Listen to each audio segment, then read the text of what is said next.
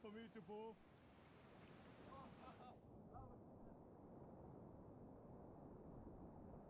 I was too low down already.